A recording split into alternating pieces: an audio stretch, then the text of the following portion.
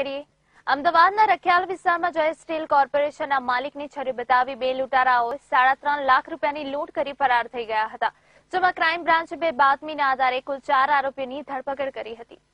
અમદાવાદના રખિયાલ ખાતે આવેલા જય મંગલ એસ્ટેટમાં જય સ્ટીલ કોર્પોરેશનના માલિક જયેશ શાહ પાસે બે અજાણ્યા ઈસમો વેપારી બનીને જયેશ શાહ જ્યારે તેમની દુકાનમાં એકલા હતા તેવા સમયે એટલે કે બપોરે ત્રણ વાગ્યાના આસપાસ આવી સ્ટીલ ખરીદવાની વાત કરી ઓર્ડર ફાઇનલ કરવા જયેશભાઈની ઓફિસમાં ગયા. એ પછી આ બંને પોતાના ઈરાદાને અંજામ આપતા જયેશ શાહની ચાકુ બતાવી ટેપથી બાંધી દેતા થોડા ઝપાઝપી પણ થઈ હતી. જેમાં જયેશ શાહના હાથે ઈજાઓ પણ પહોંચી હતી.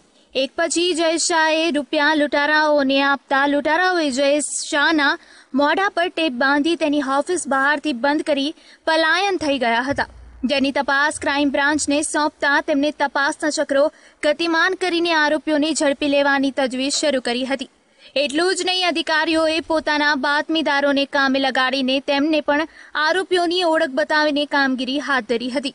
જેમાં ક્રાઇમ બ્રાન્ચની ગણતરીના દિવસોમાં સફળતા પ્રાપ્ત થઈ છે. કુલ ચાર જેટલા આરોપીઓની ધરપકડ કરાઈ છે. આપણે રખિયાલ પોલીસ સ્ટેશનની હદમાં એક જયેશાનંદ કિશોરભાઈ નામના એક વેપારી છે.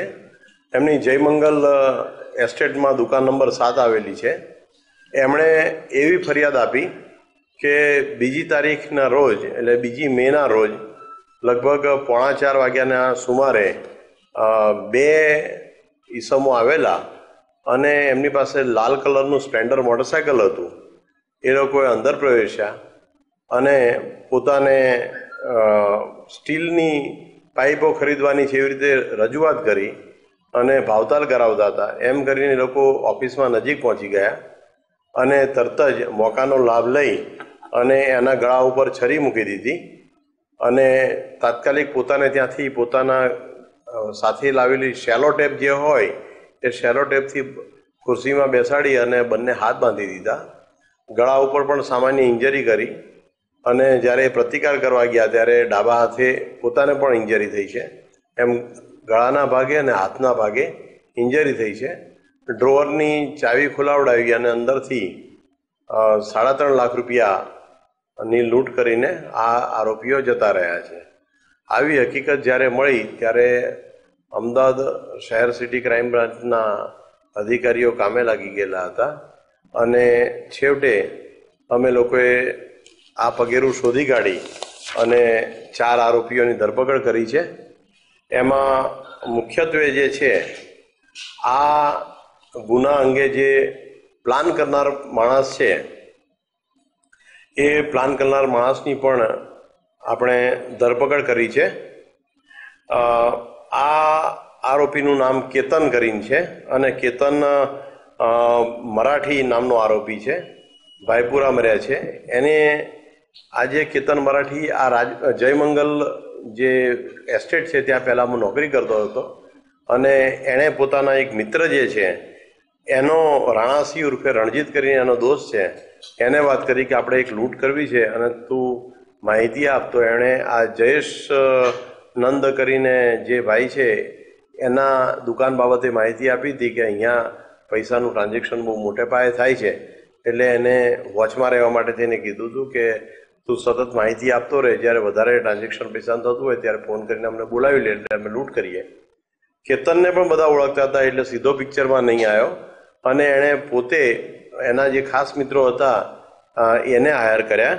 અને એ જે હાયર કરેલા જે બે જણા છે, એ મજીદ ખાન એક હતો.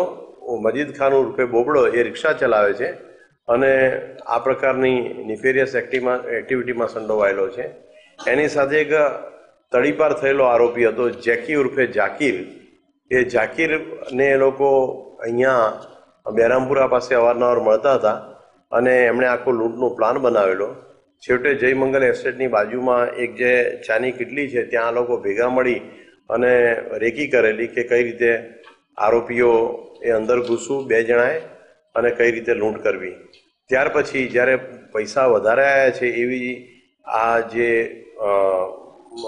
રાણાસિંહ ઉર્ફે રણજીતે માહિતી ફોન કરીને કેતન મરાઠીને આપી. કેતન મરાઠીએ બાકીના બે લોકોને માહિતી આપી અને ભર બપોરે આ લોકોએ લૂંટ કરી અને સાડા ત્રણ લાખ રૂપિયા લઈ ગયેલા હતા.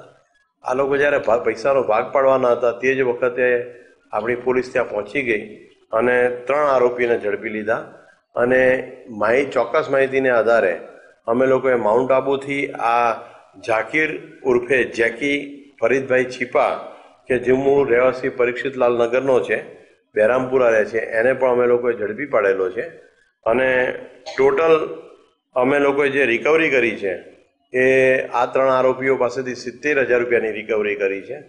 અને બાકીના આરોપી પાસેથી પણ આશરે નેવું એક હજાર રૂપિયાની રિકવરી થાય એવી પૂરી શક્યતા છે. એ જ્યારે આરોપીને લાવીએ ત્યારે હકીકત ખુલવા પામે. પરંતુ આ રીતે જે અગત્યનો એક ધોળે દિવસે લૂંટનો બનાવ બનેલો હતો, એ ગુનો અમે શોધી કાઢ્યો છે. કેમેરામેન સંકેત દાબેકર સાથે મેહુલ મિસ્ત્રી લાઈવ ગુજરાત ન્યૂઝ, અમદાવાદ.